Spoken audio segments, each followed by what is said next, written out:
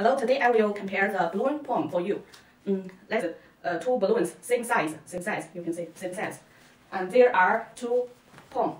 Uh, this is five holes, and this is four holes. And I know all customers, you want only four holes, but I will let you know how the benefit of the five holes are. Let's have a test. Give you, give you a balloon. We will push 10 times. We will push 10 times to see which balloon are big. Okay, let's begin. One, two, three, four, five, six, seven, eight, nine, ten. Okay, can you see?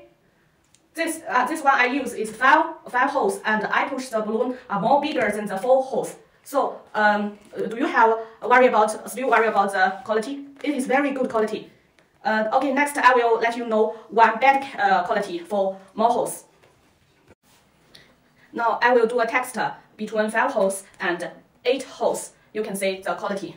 Okay, same same for the balloon size. We will push and do the test. Okay. Uh, you can clearly from that that that side. Okay. Well, okay. Okay. Uh, let, let's begin.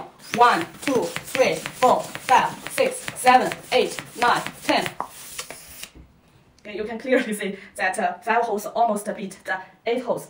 Okay, that, that is our real test. Thank you for watching.